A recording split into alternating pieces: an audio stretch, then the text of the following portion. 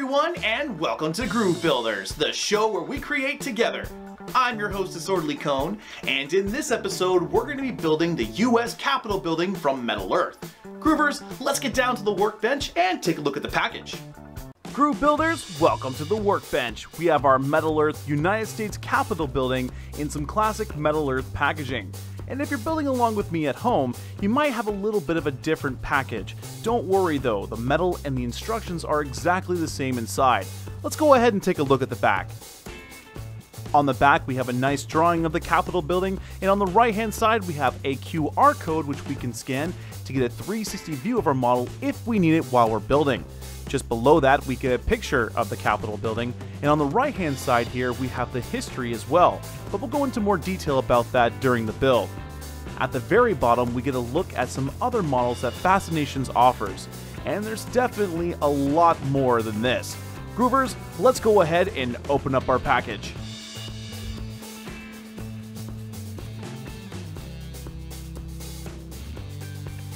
We have our instructions, and we have our metal. And it looks like two very nicely detailed sheets. Alright Groovers, let's get building. We begin by grabbing our metal and our wire cutters and cutting out our first couple of pieces to build the US Capitol building. Now, as to my understanding, there might be some new groove builders out there that have never built the Metal Earth kits before. There is a lot to know, and there's quite a bit of parts here, but don't worry, we're to build this together. R2, can you help us with the instructions? Ah, great, thanks buddy. And these are the newest instructions as of this recording. Let's take a look at them together. Starting at the top, we have the Metal Earth logo, followed by a nice depiction of the US Capitol building. Just below that, we have the QR code, which we can scan to get a 360 view of the US Capitol building if we need it while we're building. This can be useful for putting different parts of detail onto the US Capitol, and also making sure that the detail that we're placing onto the US Capitol is correctly orientated. Now just below that, we have a picture of one of our parts. On this part, you'll see three labels, one saying insertion tabs, followed by insertion holes, and finally fold lines. You'll need to understand how each one of these works in order to be able to build this model. A quick little rundown on this picture, the insertion tabs are normally slightly bent to be able to fit inside of the insertion holes, and when we're forming our different parts, you normally want to fold them along the fold lines that you'll see on the different pieces. Sometimes these fold lines might not be exactly obvious, and you may need to use different things around your home to be able to achieve the proper shape. But more on that a little bit later. Up next, we have the Almighty Legend, and the first myths that we encounter is the engraved symbol and non-engraved symbol. And the reason why I say this is because you'll never encounter them while reading the instructions. Most likely because it's insinuated. but in all reality, Groove Builders, if you do find these two symbols in any of the metal models that you're building, it just means you need to pay a little bit more closer attention to make sure that you're putting the proper detail on the right side. Up next, we have the attention point, which similar to the engraved symbol and non-engraved symbol, you're really not going to encounter this too often, and in particular, not in this model. If you do encounter this symbol in maybe another kit, all this means is you simply want to pay a little bit more attention to that area. It might be because that area might be a little difficult to put together, or the part might break really easily. Just below our attention point, we have two symbols, a circle and a triangle. These two symbols are littered throughout all of our instructions, and that's with good reason. These symbols tell us what to do with our tabs, and what you want to do when you see a circle, take as much of the tab in your tweezer as possible and then bend it over 90 degrees. When we see a triangle, you want to take as much of the tab in your tweezers again and you want to twist it 90 degrees. I always recommend following the instructions first, and then at the very end, go over your model to see if there's any tabs that maybe you can change to make your model look a little bit better. Moving right along, we have our recommended tool section, and the first tool we have recommended to us is the wire cutters, which I definitely recommend having on you. This way you can cut out all of your pieces needed to build the US Capitol from the metal sheets. I know it might be tempting to attempt to try and bend them out. Don't do that. You will actually bend your pieces or possibly warp them, and it will be almost impossible to put your model together. So make sure you have a good set of wire cutters on hand before you start building any of these metal models. Up next, we have tweezers, which are very useful for bending all of our pieces into their proper shape. Now you'll notice in my videos I'm using a pair of detailed tweezers, but any pair of tweezers will do around your home. If you can, I definitely recommend looking around your house to see if you have a variety of different tweezers to try out. Some tweezers are better than others to use for these models, and you might find yourself being a little bit frustrated with how flimsy some of these tweezers can be. And the last tool in the recommended tool section is the needle nose pliers, which are useful for getting hard to reach tabs that you couldn't normally get with your tweezers. They can also be useful for bending long pieces of metal straight, like our base if you will. One other tool I recommend, which isn't listed here, is either a marble or something cylindrical to help you form that dome at the top of the US Capitol building. If you can't find something around your home to help you build this dome, don't worry. All you need to do is slowly bend the petals matching the seams as you go. If you do this all the way around, your dome should turn out pretty good. And finally, at the bottom, we have two pictures of our metal sheets, which are pretty important because this is where we find all of our parts. The first thing I recommend doing is taking your two sheets of metal and orientating them to these two pictures. The main reason for this is just to make it easier for us to be able to find our parts. I also recommend taking a Sharpie and coloring in the numbers of the parts that we take out as we go. Again, this just speeds up the process for us to be able to find our parts. And with that, Groove Builders, we wrap up our instructions. If I missed anything or if you have a question about this build, make sure you leave a comment down below. I do my best to get back to everything I see, and if I don't get back to it, R2 will. Okay, maybe K9. Nevertheless, R2, let's move on to what is the US Capitol building? Cue up the best picture we have. Ah, picture right from the start. Good choice, R2.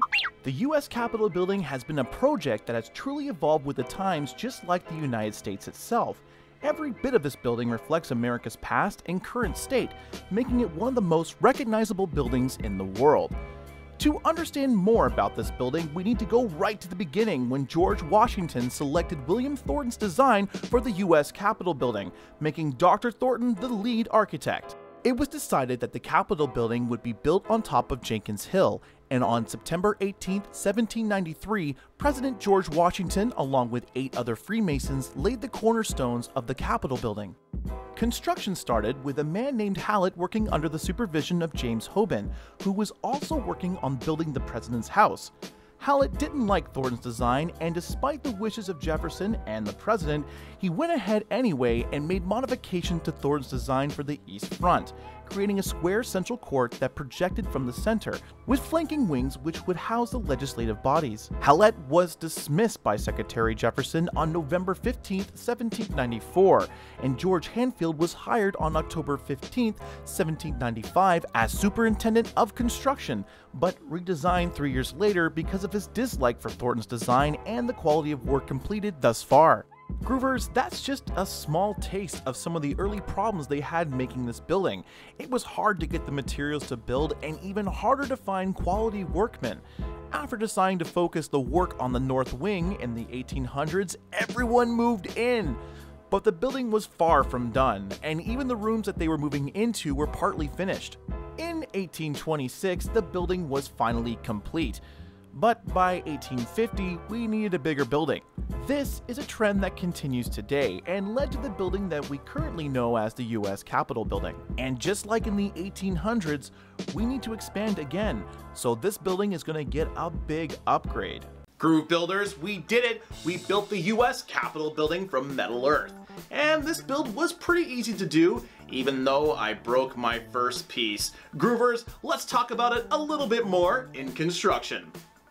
My first point when it comes to building the US Capitol building from Metal Earth is to take your time forming all the pieces, especially along the edge here. With all of its unique laser etching detail, it makes the metal a little bit weaker than what we're normally used to dealing with, and if you're not careful, you might break a piece. My second point is about the dome on the Capitol building. This is probably the most difficult part to shape in the entire model, and in my video, I used my doming set to help me achieve this shape right here. If you don't have a doming set at home, I would recommend using a marble or something similar in size to be able to help you get this shape. If you're using tweezers, make sure just to follow the seams the best you possibly can, leaving no gaps. At the very end, you should have a pretty good shaped dome. My third and final point on the Capitol building is making sure that you pre-bend all of your tabs on your parts before inserting them onto the main body here. There's a lot of really nice laser etching all the way around the Capitol building, and if you're not careful, when you're putting other parts together, you might actually scratch that detail off. And with that being said, Groove Builders, let's move on to build time. The US Capitol building from Metal Earth took me just over two and a half hours to build. And I feel like I could have taken a little bit more time to be able to make sure this model was done a little bit better. Yes, I am completely happy with how it turned out. But the fact that I broke apart over here tells me that I was rushing a little bit too fast.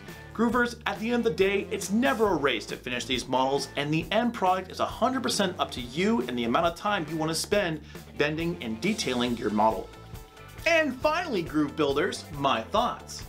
The United States Capitol building from Metal Earth is a great build for any new metal model builder out there, not just because of all the 90 degree bends, but because of this dome on top. It's probably one of the best ones so far that I've seen in metal model building, and it's great for all those new beginners out there.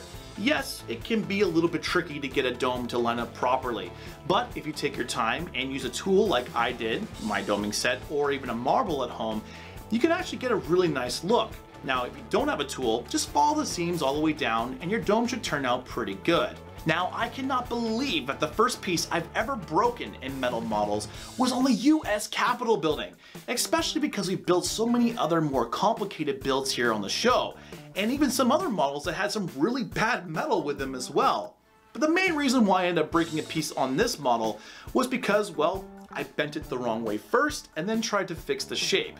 Normally, that's okay to do with Metal Earth models, but because this one has so much detail, so much laser etching detail on it, it made the metal a lot weaker than it is normally, meaning that I only really got one, maybe two bends out of it before it snapped.